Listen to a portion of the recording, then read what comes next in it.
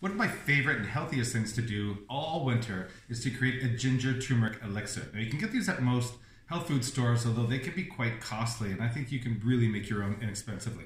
Um, now I do it through one of these juicer machines. You certainly don't have to do it through one of these. Uh, a Vitamix works perfectly well. Uh, just after you're finished uh, blending it up, you just have to put everything through a sieve. But I like the juicers because it really squashes out the juice uh, from the ginger. So the first thing we're gonna do is add some ginger. We certainly know the benefits of ginger as well. Great for overall gut health, loosens um, congestion as well, and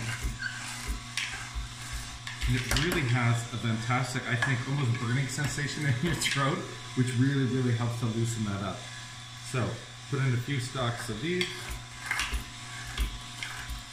The next thing we're gonna add is some fresh turmeric. Okay, if you can't find the fresh, certainly the powdered will do. And be careful when you are using this because it will literally stain everything. So as we know, the turmeric is really good. Uh, it's a strong antioxidant, okay? And it's also an anti-inflammatory as well. So fantastic during flu and cold season. Uh, from here, now that we have this, I'm gonna take this. Now I'm gonna add half a lemon.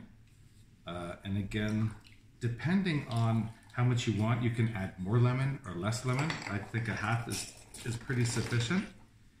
And then I have some fresh squeezed orange juice as well. And again, if the ginger's too strong for you, then just add more orange juice. And of course, we also know orange juice is high in vitamin C. And then we're gonna add a few drops of apple cider vinegar. Apple cider vinegar is uh, fantastic, great for overall gut health, which is really, really important.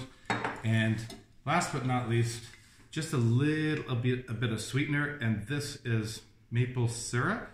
Okay, and maple syrup is uh, really good. It's high in zinc, potassium, magnesium, all those great uh, vitamins that we need through the winter months. Now from here, we're gonna put it in a little mason jar.